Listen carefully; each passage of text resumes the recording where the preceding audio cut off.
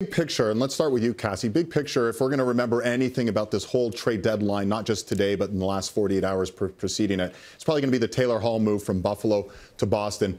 Overall, is that the big move? And if so, who do you see as the winner there? Well, I think Taylor Hall is. I mean, this is where he wanted to go. There was a potential deal in the offseason for him to go to Boston, and that fell through. He ends up signing a one year deal with the Buffalo Sabres. And listen, whether it's right to be out there or not, I think there's a consensus that Taylor Hall really needs to prove himself. Is he a team player? Is he a team guy? I think we've seen him. He's had 93 points that one year with New Jersey, and then things have kind of fallen off. So this is a big opportunity. He got to go to the place where he wants to go, and now I think it's on his shoulders to prove that he, he can be a part of a winning team. And Bruce, uh, how do you make sure you're getting Taylor Hall the MVP from a couple of years ago and not the guy who struggled in, you know, three, four teams now in the last couple of years?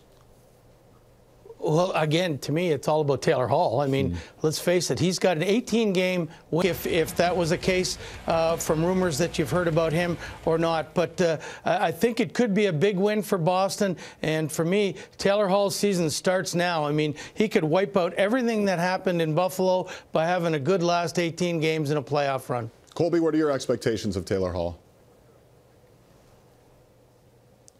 Well, for me, Taylor Hall is a guy that I think everyone expects to be this star goal scorer, and I think it's a perfect position. When I think of Taylor Hall going to Boston, I think of, um, you know, possibly what Phil Kessel was going to Pittsburgh. Um, you know, Phil Kessel's career as a star in Toronto, I played with him there. Uh, a guy that went to Pittsburgh and got the job done. But the key to that was is that they already had a significant core, which the Bruins already do as well. They have star players there. They have their big three on that perfection line. Um, and and look, they just need a guy to sit in the back seat with Krejci.